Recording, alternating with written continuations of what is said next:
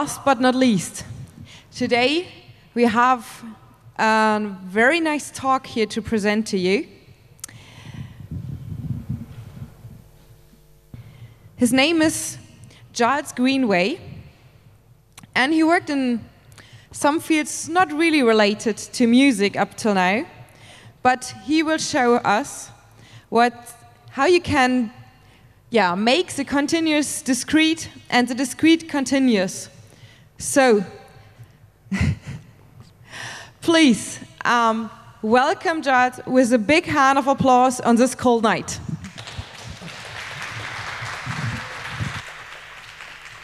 Actually, my watch says we've got three minutes to go. Shall we wait or not? Yeah, I want to get out here before I get lynched. Okay, so my background is um, polymer physicist without portfolio. The title Indiscrete Music is, of course, a troll on Brian Eno's Discrete Music and is itself a follow up to Oblique Strategies Against Humanity, which I presented at EMF. Um, this is about nearly half new material, after which I shall, uh, so to say, shut up and play the hits and repeat some of the stuff at EMF that at least I know people liked. So I'm Augeus on Twitter. The links to my slide share will be on every slide. Little that's the housekeeping. And here we go. So, the prologue. Um, back in the day, I was a child of the 80s, and I was raised on the sort of um, mathematical recreation books you could buy, particularly those of uh, Cliff Pickover and. Um, the compendiums of the Scientific American Computer Recreations column. And they, they, they were different from what you can get today. You were sort of, there were pseudocodes. You were encouraged to actually mess around with things and sort of code things up and experiment for yourself and not wishing to be all soggy with nostalgia because it was terrible because all you had to play with, if you were lucky, was a sort of 8 megahertz Atari ST and the thought of the thought of playing with uh, signal processing in, in real time was, you know, was just a dream. I could, uh, I could play MP3s on my Atari Falcon in mono if I kept the mouse still. Um, these days, of course, you, you, you, know, the, you don't see tomes like that, and apparently what the kids want is um, scorched pieces of laser cut plywood with LEDs on them, and that's, that's what they want to do. So, a little bit more of background. I first became aware that um, computers and pictures and mathematics and sounds went together because, of all things, Jeff Minter and his, uh, his light synthesizers, Trip-a-Tron, Color Space, Psychedelia, etc. And later, much later, I became aware of the, uh, the power electronics and the, and the, noise scene. Now, this didn't impress me. Well, I, I liked it, but it didn't impress on, upon me in terms of sounds I wanted to make myself. But it did real, make me realize what I could get away with. Um, a really good description of uh, the noise scene can be had from Jennifer Wallace's Fight Your Own War on Headpress. And my own particular introduction to the noise scene was the Hinoima Club in Finsbury Park in London. Anyway, without further ado, let's start with something simple, very simple. Elementary one-dimensional cellular automata. So we have a set of, in fact, an array of, of cells, which can be in, in this instance, two states, on or off. And as is fairly traditional, we shall start with a single on state, a single defect in the center. And if you imagine an image, the image will evolve down the page with the y-axis representing time. So a cell's future depends on its past and the pasts of its neighbors. There are eight possible arrangements of uh, live or, or dead cells. Thus, there are 2 cubed equals 8 previous configurations for each cell. For each of those configurations, there's a single choice of will, will the cell be on or off. So there are 2 to the 8 is 256 possible 1D cellular automata, um, some of which will be inverses or reflections, however, and that is, that is attributed to that, that name, that numbering scheme is attributed to one Stephen Wolfram of Mathematica fame. Now I'm going to briefly. No, I'm not actually. I'm going to go back to the go back to the slides and.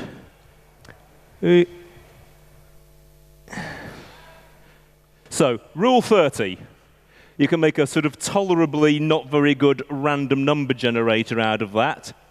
Rule 110, more of the, the uses and abuses of that later as well. So that's what these, that's what these things look like in a nice fetching green. And I just wanted to know what they could potentially sound like. Admittedly, so did Stephen Wolfram. So you can, you can find online his Wolfram tones. Uh, it's an attempt to sonify these, these, these very simple rules. And what's, what's happened is that a narrow strip of cellular automata is taken, and if a cell is on or off, that corresponds to a note, or at least um, a, a, a, percussion part. So different, different uh, columns of cells will correspond to different notes, or rather, yeah, different notes. Uh, this is tricky. Where's I? That probably says Wolfram Tones.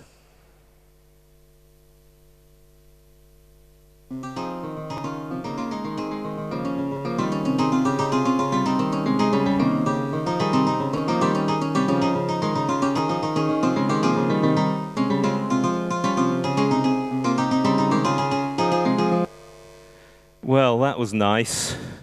So much for the support act.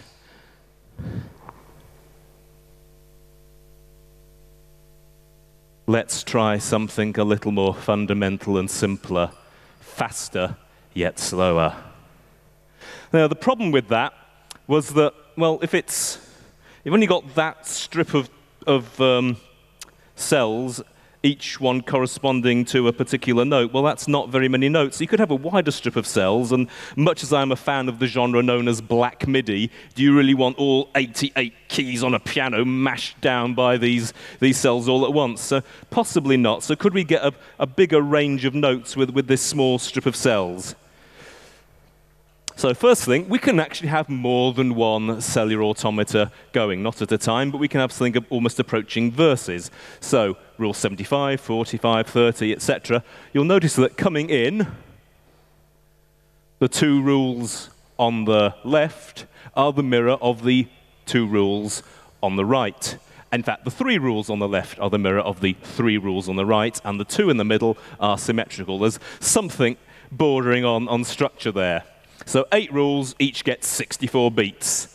And this time, now the, the five cells in the center are dealt with in the sort of traditional manner.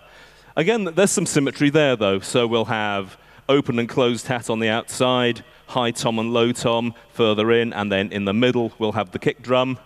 But the melody, the melody if you want to call it that, what we'll do is look at the history of the cells. In fact, the previous six generations, and we'll consider those as binary values. We'll have most significant bit in the present and the least significant bit in the future, and that'll have a little more variation in, in the notes played.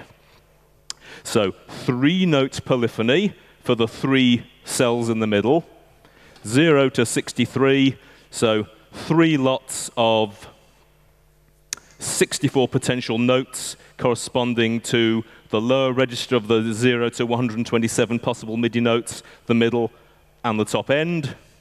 All done nicely with the, with the Python MIDO library, to which, for which I'm reasonably eternally grateful. We'll have a Volca beats doing the drums, and not the Volca keys as pictured. We'll have a, a Volca FM, which is a, a, digital device playing the melody. If I'd have got over my uh, analog obsession earlier, I could have had a nice uh, Novation circuit and had five note polyphony, one for each finger. So, let's see what this sounds like.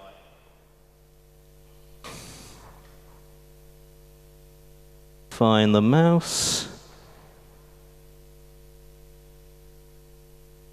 Ooh, elementary CA.FLAC. Righty clicky, oh come on.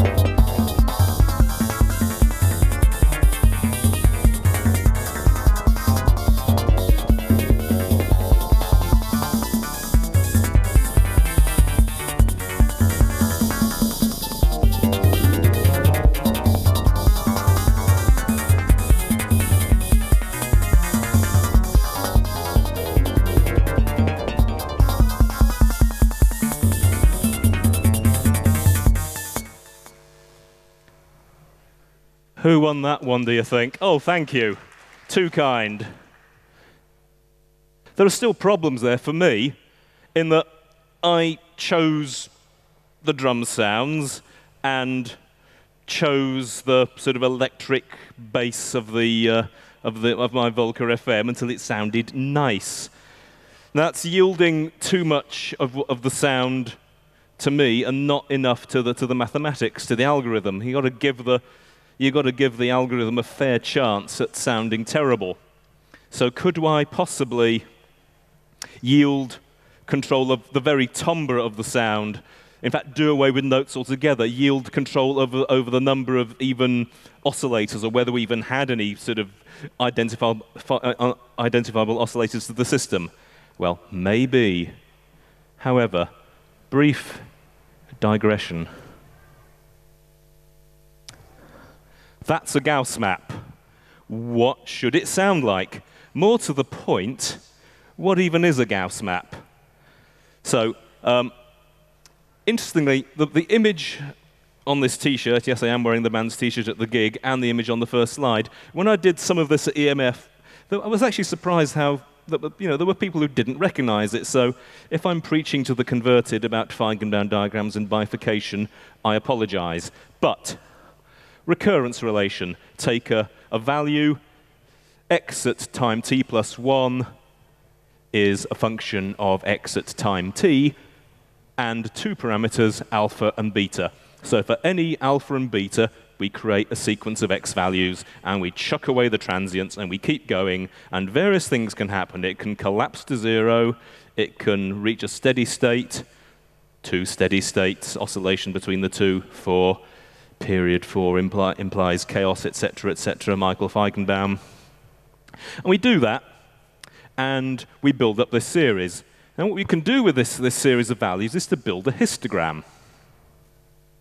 So each of those slices through the bifurcation diagram, through the Gauss map, is a histogram. So bright means that point was visited lots, that value of that, that range of x values was visited lots of times. Black means the system never went there. So we scan beta across the horizontal axis, and we can scan alpha through time and watch the thing evolve.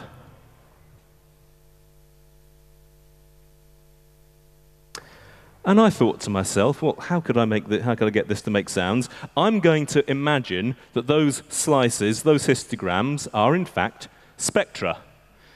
So if you imagine your amusing T-shirt with your um, equalizer, bar graph, LED display. We're going to do that backwards. Problem number one is that my histogram is full of real values and the inverse Fourier transform required to turn it back into signal has, requires complex values. Well, I've got no imaginary part. Am I bothered? Actually, no. If I have zero or constant imaginary part, I have zero or constant phase, and all the only constraint is that my signal will be symmetrical about the middle. So what? Um, I'm really not explaining the Cooley-Tukey fast Fourier transform algorithm at this time of night to you lot at this time of night, but do look it up. It's quite nice. So, problem the second, the idea of a Fourier transform is that a periodic signal, or one that you've at least repeatedly copied till it looks periodic, produces a spectrum. Therefore, a spectrum should produce a periodic signal. We've already decided that our, our histogram, our spectra are going to be varying through time, so you cheat slightly. So you have the short time inverse Fourier transform. So you take your chunk of uh, spectrum, for that slice of the bifurcation diagram, inverse Fourier transform it, multiply it by uh, what is called a window function, which uh, isn't Gaussian but looks a bit like one, I believe. Blackman Harris is the, the name of the function I used. And um, I've got a horrible feeling I've left out a convolution here somewhere, but never mind. I don't care at this time of night. So we take our uh, chunks of signal, we multiply it by these window functions, and we overlap them, and we add them together, and eventually we get noises. Thinking about it, the only sort of sense of time here was in the recurrence relation. But when we've got that histogram, all that's all over. So we're going to vary this beta parameter back and forth as we scan up and down our diagram whilst alpha is uh, increasing in time. Well, if beta's going backwards and forwards, why shouldn't, why shouldn't alpha? So in the right channel, we'll have the whole rigmarole only played backwards. I got that idea by reading my kickstarted copy of, um, of uh, Daphne Oram's individual note in a place of ultimate uh, vitreous China seclusion. But you can read of Daphne Oram on UbuWeb. And while we're at it, if you uh, imagine the, the bifurcation diagram, splitting, recombining, becoming noise, we'll take, the, we'll take its center of mass, if you like, and use that to pan between the left and the right. So the idea is we'll start off with a single tone, chirped, becoming two, and having beat frequencies, and eventually turning into skronk, to use the technical term, and then coming back again. Now, I hasten to add, this work should not at all be compared to that of Elaine Radigue, but if you're prepared, as I am, to listen to hours of her slowly evolving um, modular analog tones and, and studies on a plane, then you will be prepared for the, the desolation you are about to hear. It lasts for four minutes, not four hours at least. So this will be a little bit meditative. Maybe it's what you need on this, on this balmy evening. And tell a lie, this, this, this of course has pictures to go with it, so I'll just enable the slightly cheesy tape echo on my digital effects unit. and I'll play this and then I'll shut up.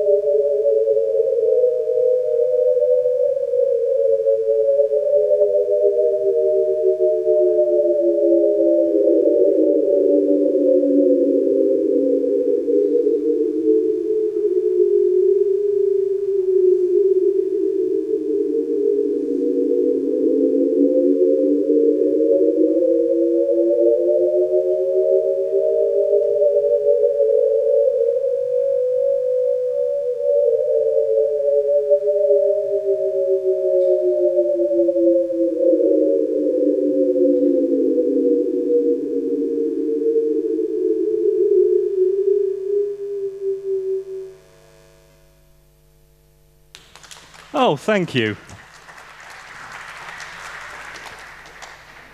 Uh, get rid of that.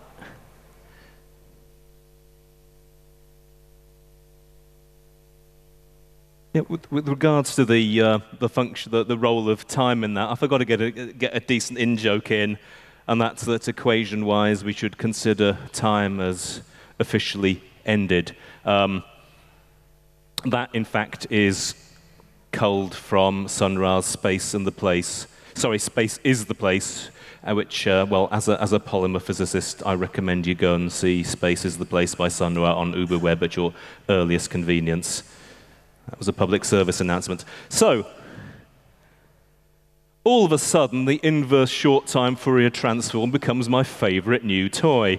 And let's think back to those, uh, those cellular automata, and can we really have 88 cells acting as keys on the piano? Well, no, we can't have that, but what we shall have instead is individual bits of array in an inverse Fourier transform. So, 512 cells this time. Um, oh, I left out the zero padding. You're going to have to zero pad your arrays, otherwise, you'll end up sounding like a dog whistle and your housemate will not be impressed. Somebody remembers that. I hadn't got it quite right. What's that? Eee! Is there a mosquito? Eee! It's very loud. Ow! My hearing's long been destroyed by Merzbow, so I was oblivious. So, single defect will take the six previous uh, states of all the cells, interpret them as binary values, treat those binary values, that array of binary values, as a spectrum. We'll go for rule 30 on the left channel, rule 86, which is the reflection of rule 30, as the right channel. Um, the results are going to be a little bit uncompromising. I like them. Um, there is no one. No one has heard these sounds except for people wearing this t shirt. Um, none of us, and, and, we too, have not heard these at sufficient volume. Now, again, I'm, I'm not going to compare my work to Elaine Radigue. I'm not going to compare my work to that of Merzbow either, but if you can stand an entire Merzbow gig, then you'll be all right with this. Otherwise, there, there are no guarantees. Um, I must say, do read, do read Fight Your Own War by, uh, by Miss Wallace if, if you can. I must say, though, I'm, I'm no longer particularly interested in the, some of the nihilistic uh, aspects of the, the power electronics or the, or the, or the power noise scenes. Um, so I, I, have, I feel no particular urge to acquire a balaclava get a silly name like a duodenal abuse unit and sit with my arms folded, glowering at a row of guitar, effect, guitar effects pedals, which I refuse to touch or alter because, hey, uh, harsh noise wall progression is for losers. Um, yeah, do look up Harsh Noise Wally, uh, a. A satire on the harsh no- noise wall scene and an actual legitimate use of uh, Scott Adams cartoons. It can happen. Uh, brace yourself. Oh, no, don't want to do that. No, I will do that now. Thanks for the thanks to the AV people, by the way, for getting audio and uh, video that worked pretty quickly. Um, have you got gaffer tape? Have you got a fire extinguisher? Most, have you got a digit on, um, on, a, on a slider somewhere? This is going to last three minutes and 10 seconds, and I'm not going to stop it. I'm probably not going to start it either until I can find my mouse. Uh,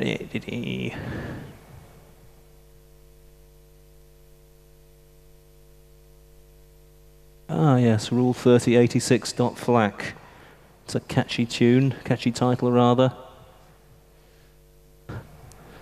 Brace yourselves. Oop, no. Just teasing you. Earplugs, brace yourselves.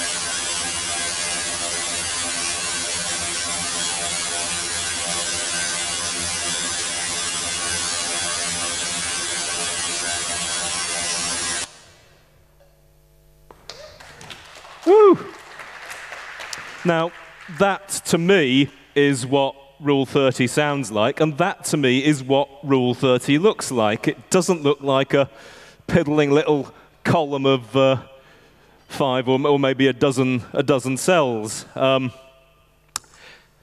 how remiss of me, I forgot to be nasty to Stephen Wolfram. Before we, before we leave uh, cellular automata, I did say Rule 110 was interesting.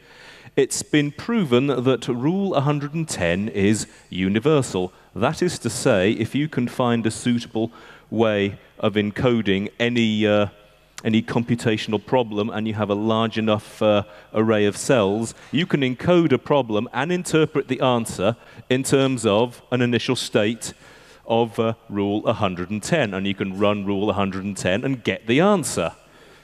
And that was a proof that I'm not going to explain cyclic tag systems at this time of night frankly, I, I, couldn't explain cyclic tag systems at 10 in the morning with a big, strong cup of, you know, pot of coffee either, to be honest. But that proof was um, not developed by Stephen Wolfram, but Wolfram Research said that its existence was a trade secret. If you go on my slide share, the URL will be, uh, there's a URL which is a link to um, a review of Wolfram's rather immodest tome, A New Kind of Science. Also, some wag has gone and implemented Rule 110 in pure CSS, not one nasty line of JavaScript. So officially, CSS is Turing complete. That wasn't me. You don't have to clap that. I said I'd shut up and play the hits. So, again, people, I, I saw people EMF, I'm about 50 50, go, oh, is that Lissajous? No, it's a Lorenz attractor already. So back in 1963, this is like the sort of uh, apocryphal Newton apple on, on head moment.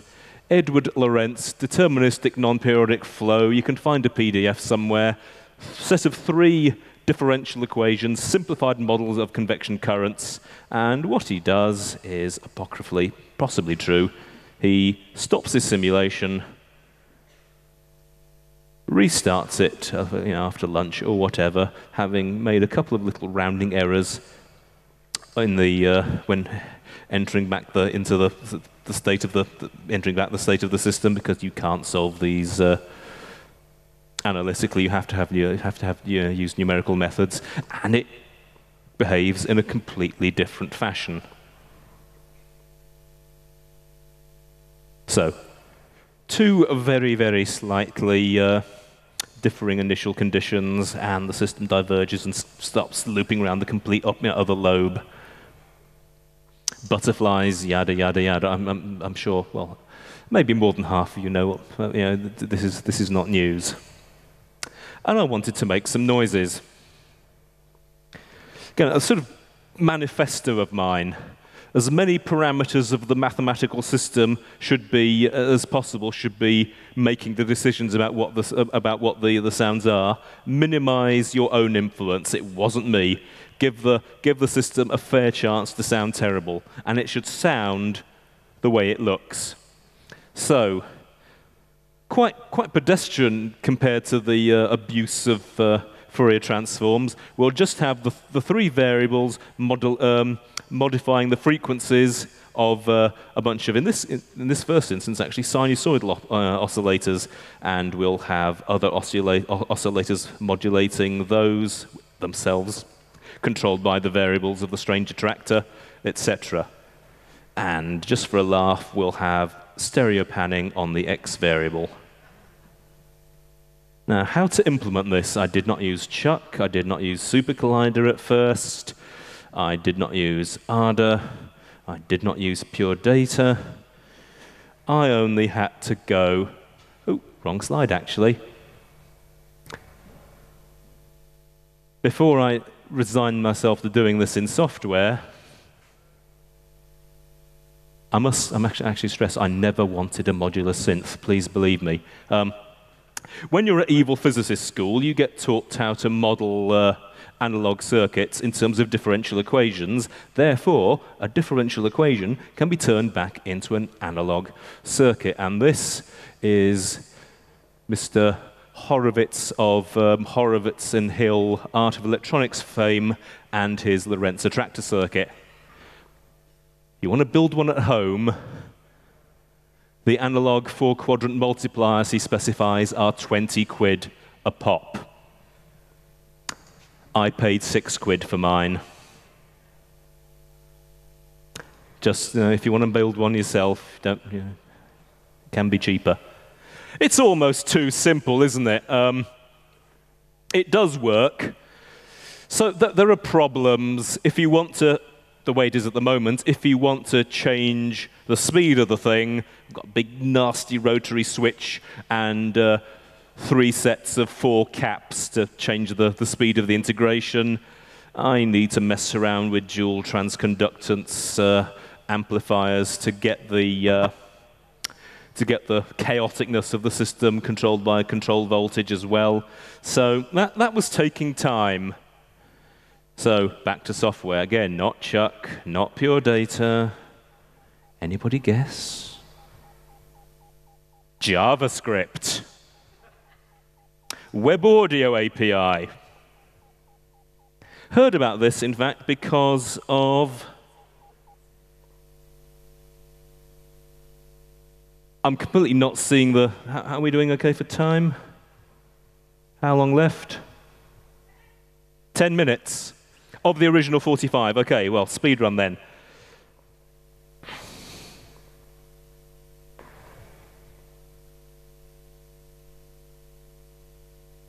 Where's my browser? Now this is going to be a game.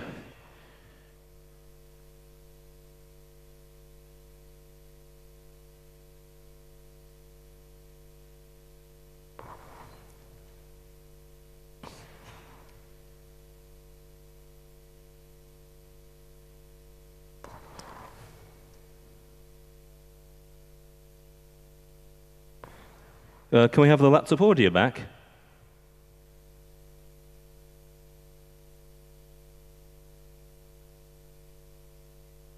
Oh dear.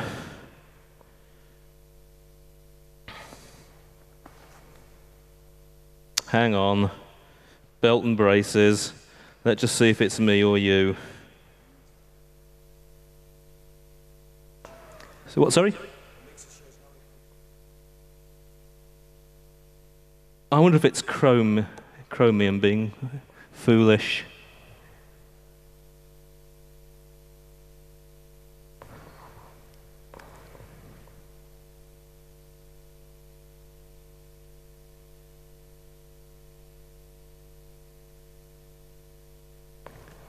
Uh, right.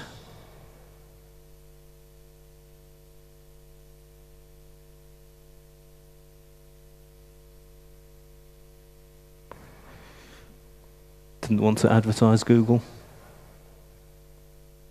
Sound card.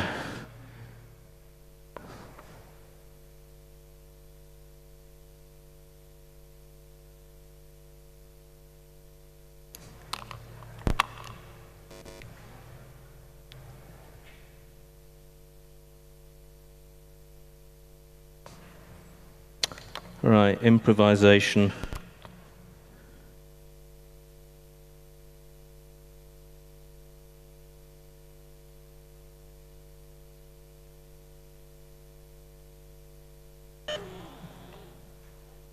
I can't believe I'm doing this.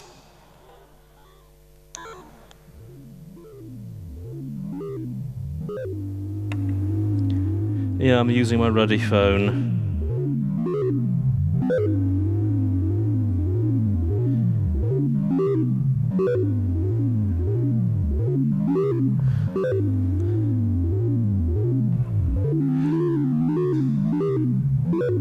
Let's try something a bit different.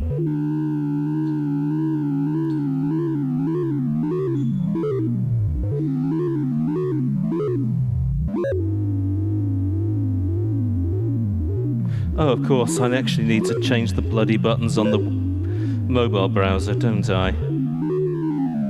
Let's have a Chua attractor instead. If we want to talk about fail, um, I also completely failed to build a, a Chura circuit at camp. Never mind. So that was a nice little stopgap at least.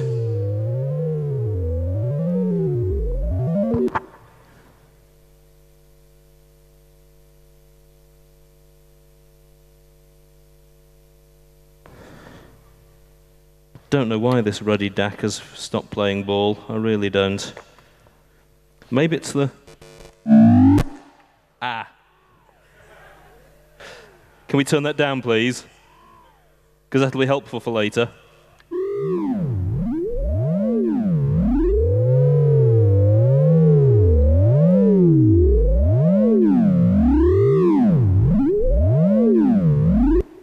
Uh, Cambridge Audio DAC Magic, don't buy one. So that was a nice little stopgap. Next thing I tried, Clojure, of all things. So I didn't want to use SuperCollider directly, so I tried to, uh, well, just domain-specific language, I'd rather not. So Clojure has a project called Overtone, which I believe, look, looking at Git, has uh, just acquired a new maintainer, which is nice. And I'd hope to get um, hope to get uh, my Lorenz attractor implement implementation controlling controlling uh, SuperCollider's, oscillators, and try as I might, I just couldn't get it happening in real time. It was all horrible and, and, and steppy, worse than the JavaScript. So I ended up uh, ended up just building a, a buffer full of uh, Lorenz signal and, and, using that. It was it was a little more, I guess, continuous and non-steppy than the, than the JavaScript, but not much. And so in the end, I relented. Oh, all right, I do slightly want a modular synth. So I, finish messing around with my, uh, with my Lorenz circuit, normalize the voltages from 0 to 5 with op amps, five minutes, thank you. So, so, so things didn't get fried. And we'll have a little mini modular synth called a, a nanosynth. The patching is all done by, uh, by uh, PCB headers, which are perhaps not very durable, but at least you don't need to sell a kidney to have one. So we'll have one variable controlling pitch, one variable controlling the pulse width of uh, your square wave. We'll have something approaching, not, not so much panning, but we'll have uh, the VCAs on two synths being turned up and down according to the, uh, the exposition. And Moog variables controlling pitch, LFO rate, and filter cutoff, as is traditional. Little snippet of that. I tried, uh, this was recorded at EMF, but of course, it wasn't played live at EMF, and I wasted quite a bit of time staring at the circuit board in disbelief and swearing. Now, all I've got to do is work out. Yeah, I've worked out nanosynth. There's also a bit of noise here to get a nice whooshing effect as the thing winds from side to side. Uh, didn't open that. Come on. Oh, I opened it with bloody Amarok. No.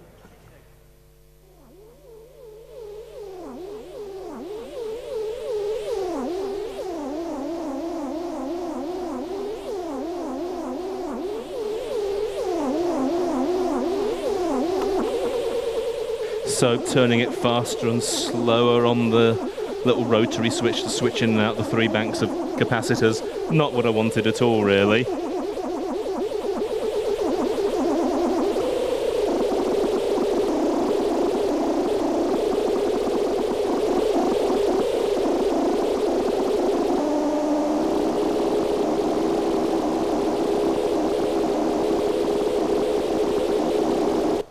Enough of that. Nearly there. I'm going to play you out fairly shortly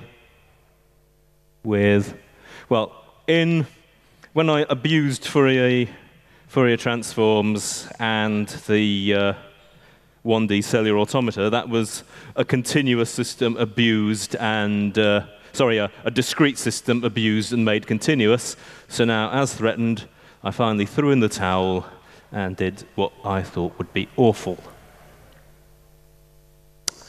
All right, so I quite, haven't quite got the definitive analog Lorenz sounds I wanted, so I threw in the towel and said, oh, all right, I'm just going to have to quantize the, uh, quantize the system to the 120 to 127 MIDI notes. So X variable playing an Arturia microbrute, Y and Z variable playing the notes on a Volca keys, X variable, however, also controlling the filter on the Volca itself, also quantized to 127. Every time the x-axis, uh, or rather the, uh, the z-axis is crossed by the x variable, we'll have um, a kick drum triggered on the Volca beats. And yeah, it's going to be all quantized and steppy and not very good, so we'll just turn up the portamento and hope for the best. My uh, my expectations were not high.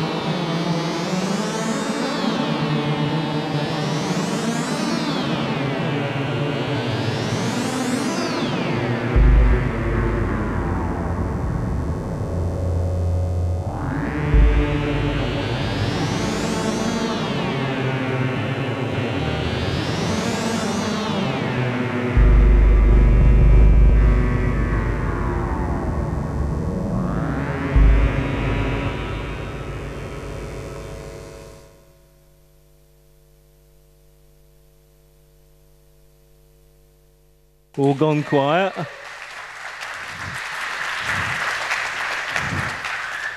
Well, what do I know? I thought that was going to be horrible. Um, it turns out that uh, real live musicians who I, who I respect and are, have been sadly rent from their homes because of the actions of our Prime Minister when she was Home Secretary actually quite liked it.